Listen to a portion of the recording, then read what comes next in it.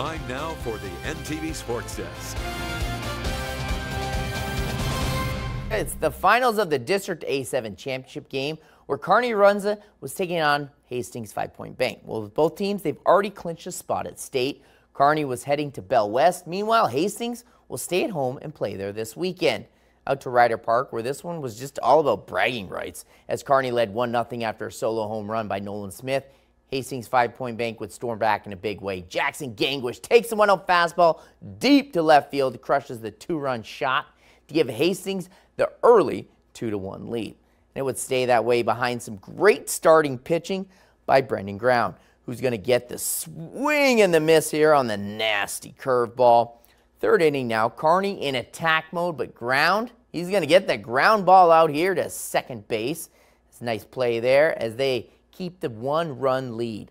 But Rhett Mundorf took over the bump for Kearney. He says, Can I help you? Mundorf says, Nope, just looking as he gets the backwards K to end the inning. Let's move along to the sixth now. We're all knotted up at three until Cameron Brumbaugh comes to the plate and says, Let me take this fastball the other way to drive in the go ahead run.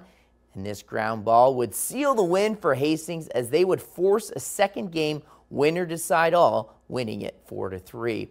On to game two, where Kearney Runza started great as they walked themselves into a run as Caleb Larson picks up an easy RBI for the first run of the game, but it definitely wouldn't be the last.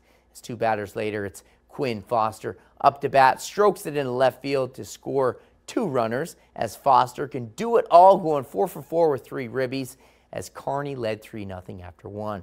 But Hastings is the top seed for a reason as they kept chipping away as Gangwish again comes up clutch with the single to center field as Gangwish was a thorn in the side of Runza pitching, going six for nine with a home run, five RBIs in the two game contest today.